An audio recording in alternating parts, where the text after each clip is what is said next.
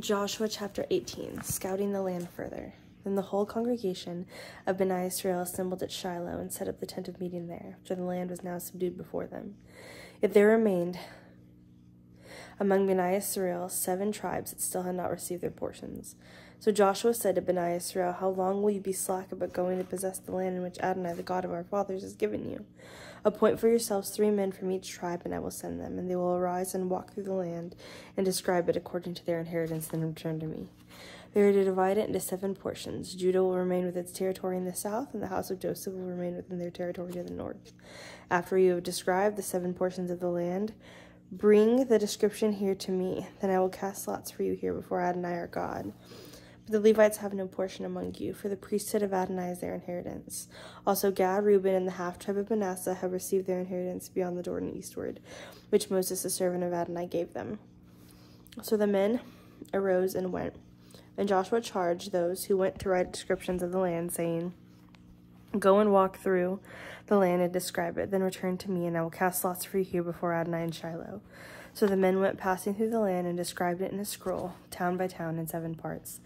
Then they came to Joshua at the camp at Shiloh. Then Joshua cast lots for them in Shiloh before Adonai, and there Joshua portioned the lands to Beni Israel according to their divisions, the inheritance of Benjamin.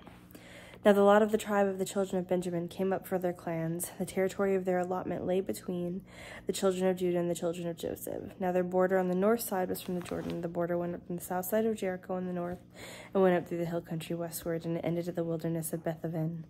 Then the border passed from there to Luz to the side of Luz, that is Bethel, southward. Next, the border went down to Atroth Adar, near the mountain that lies to the south of the lower Beth Horon. On the west side from the hill, facing Beth Horon southward, the border curved, turning about southward, and then ended at Kiriath Baal, that is Kiriath Jearim, a town of the children of Judah. This was the west side. Then the south side was from the outskirts of Kiriath Jearim, and the border went westward, going to the springs of the waters of Nephtoah. Then the border went down to the foot of the mountain by the valley of Ben Hinnom, which is at the northern end of the valley of Rephaim. Then it went down to the valley of Hinnom, to the slope of the Jebusite southward, and went down to En Rogel. Then it curved north and went to En Shemesh, and ran to Geliloth opposite the ascent of Adummim, and went down to the stone of Bohan, son of Reuben. Next it passed north northward to the slope facing the Arabah of the Jordan Valley, and went down to the Arabah. Then the border passed along the south of Beth Hoglah northward, and the border ended at the northern bay of the Salt Sea at the south end of the Jordan. This was the southern border. The Jordan has to be the border on the east side. This was the inheritance of the children of Benjamin, and its borders all around according to their clans. Now the towns of the tribe of the children of Benjamin, according to their clans, were Jericho, Beth Hoglah, Emek Keziz, Beth Araba, Zemaraim, Bethel, Avim, Para, Ophrah, Sephar Ammonah, Afni, and Geba, twelve towns of their villages. Gibeon, Ramah, Birat, Mizpeh, Sephara, Mazah, Rechem, Irbil, Tarala, Zela, Elaf, and Jebus, that is Jerusalem, Gibeah, and Kiriath, fourteen towns with their villages. This is the inheritance of the children of Benjamin according to their clans. Joshua 19, portions for other tribes. And the second lot came out for Simeon, for the tribe of the children of Simeon according to their clans.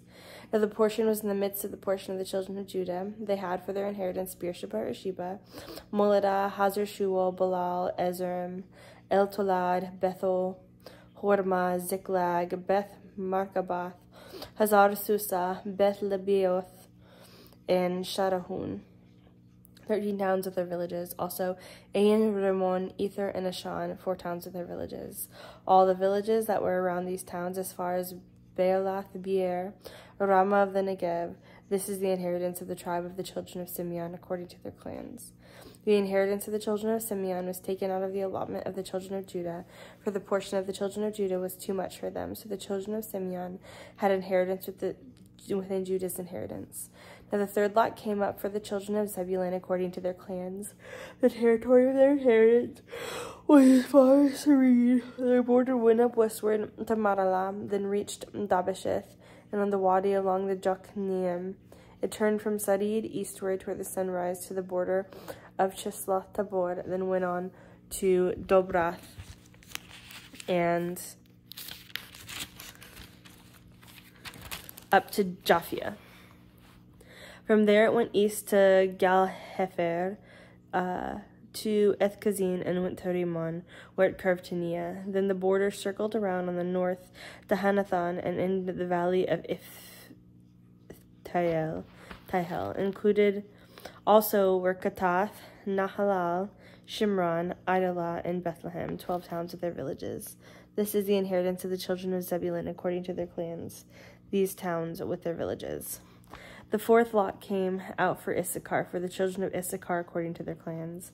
Now their territory was Jezreel, included Chesalah, Shuriam, Haphodaim, Shion, Anaharath, Rabith, Kishion, Ebez, Remeth, Enganim, Enhada, and Beth Pazez. The border extended to Tabor, Tabor, Shahazim, and Beth Shemesh, and ended at the Jordan, sixteen towns with their villages. This is the inheritance of the tribe of the children of Issachar, according to their clans, the towns of their villages.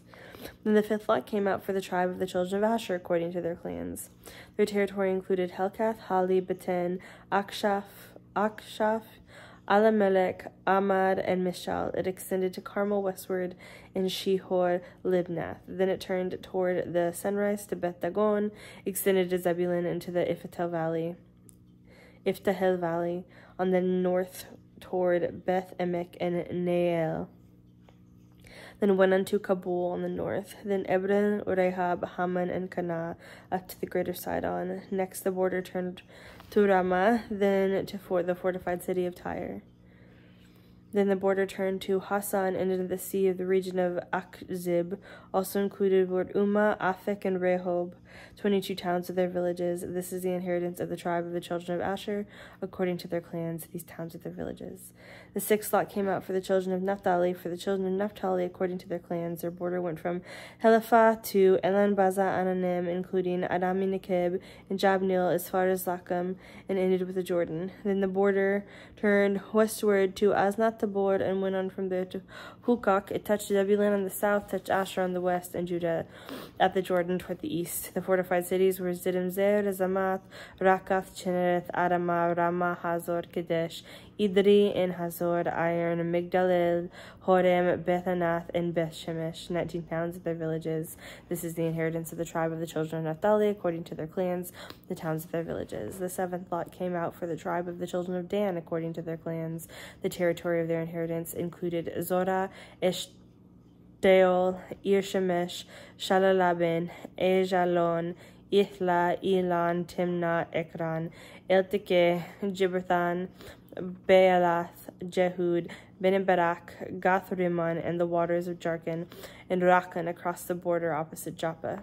The territory of the children of Dan slipped away from them, so the children of Dan went up and fought against Leshem and captured it, and struck it with the edge of the sword, possessed it, and settled in it, and called Leshem Dan, after the name of the Dan their ancestor. This is the inheritance of the tribe of the children of Dan, according to their clans. These towns with their villages, when they had finished allotting the land for inheritance by its borders, I Israel gave a portion of Joshua, son of Nun, in their midst. According to the command of John Adonai, they gave him the city that he requested. Timnath Serah in the hill country of Ephraim, so he built up the city and lived in it. These are the portions with Eleazar the Kohen and Joshua son of Nun, and the heads of the ancestral houses of the tribes of Bani Israel distributed for inheritance by the tent of meeting, so they finished apportioning the land. Joshua chapter 20, six cities of refuge. Then Adonai spoke to Joshua, saying, Speak to Bani Israel, saying, Designate your cities of refuge, about which I spoke to you through Moses. So the manslayer who kills any person by mistake and without premeditation may flee there. They will be a refuge from the avenger of blood. When one flees to one of those cities, he must stand at the entrance of the gate of the city and state his case in the hearing of the elders of that city. Then they are to take him to their city and give him a place to live among them. Now, if the blood avenger pursues him, then they will not hand the manslayer over to him, since he killed his neighbor and without premeditation and did not hate him beforehand. So he will stay in that city until he can stand trial before the congregation, or until the death of the Kohen Gadol in those days. Then the manslayer may return to his own city and to his own house, to the city from which he had fled. So they set apart the Kadesh in the Galilee, in the hill country of Naphtali, Shechem, and in the hill country of Ephraim, and Kiriath Arba, that is Hebron, in the hill country of Judah, across the Jordan east of Jericho. They designated Bezer in the wilderness on the tableland from the tribe of Reuben, Ramoth in Gilead from the tribe of Gad, and Golan in Bashan from the tribe of Manasseh. These were the appointed cities for all Bnei Israel and for the outsider who is dwelling among them, so that whoever kills any person unintentionally might flee there and not die by the hand of any blood avenger, the blood avenger before standing trial before the congregation.